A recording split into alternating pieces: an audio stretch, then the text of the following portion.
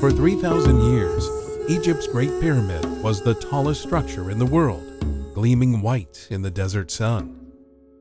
It was built 4,500 years ago with only manual labor and simple tools to craft and move some 2.3 million stones, most weighing more than two tons. But how did they do it? There are several theories, each with their own problems.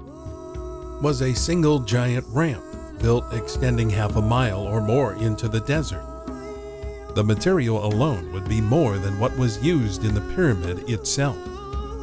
Maybe a shorter ramp was built a third of the way up, with external spiral ramps stuck to the sides of the pyramid the rest of the way to the top.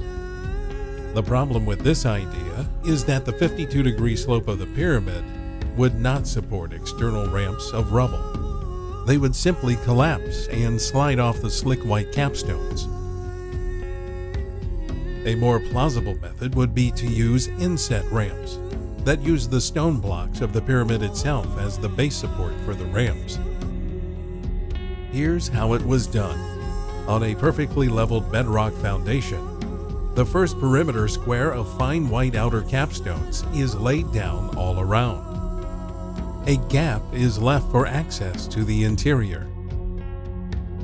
The first ring of the first layer of finely cut limestone blocks is laid down behind the capstones.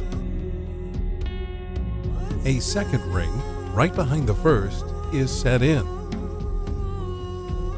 And then a third inner ring is laid down. Rough cut blocks, rubble, and mortar fill in the vast interior of the first layer.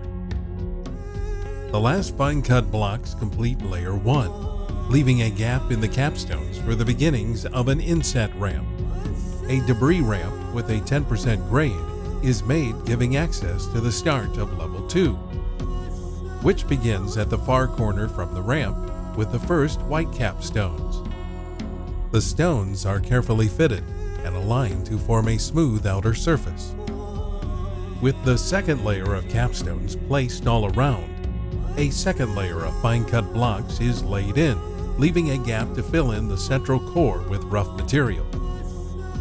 Remaining blocks are filled in, leaving a gap for the ramp to be extended to the third level. For level 3, the process is repeated, with outer capstone set from the far corner back to the ramp and the cut blocks and rough stones filling in behind. The ramp extends to the next level and is about 11 feet wide. With each new level, the ramp is extended up the side of the pyramid until it reaches the corner, where a wider flat area is left for turning.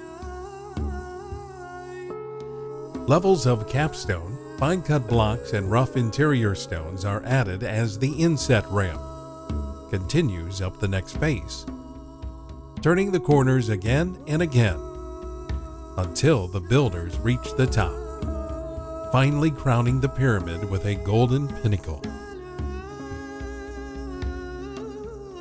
All that's left now is to backfill the ramps from the top all the way down as if they never existed.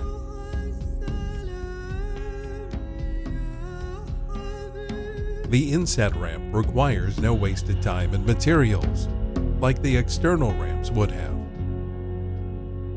The inset ramp allowed the pharaohs to build the pyramids faster and cheaper, like a modern builder would do.